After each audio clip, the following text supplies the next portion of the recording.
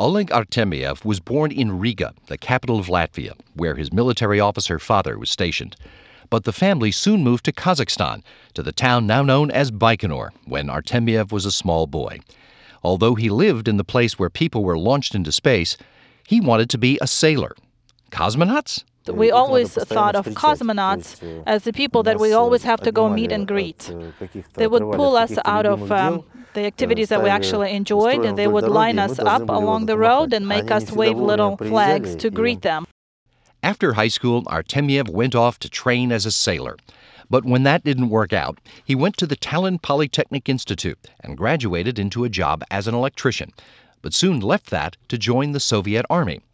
After two years in the service, he went to Moscow and was admitted to the Bauman Technical University, where he earned a degree in low temperature physics and technology.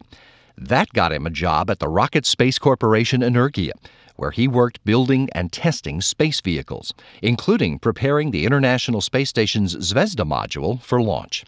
He was selected to start training as a cosmonaut in 2003. In 2009, he participated in the Mars 500 experiment, along with future cosmonaut Sergei Ryazanskiy, on his way to preparing for his first spaceflight assignment. I hope that um, my small contribution will help those who will eventually make a first step on the surface of Mars or touch an asteroid, bring something good back, maybe even see some extraterrestrial life. There are a lot of uh, good jobs on Earth, but this is the ultimate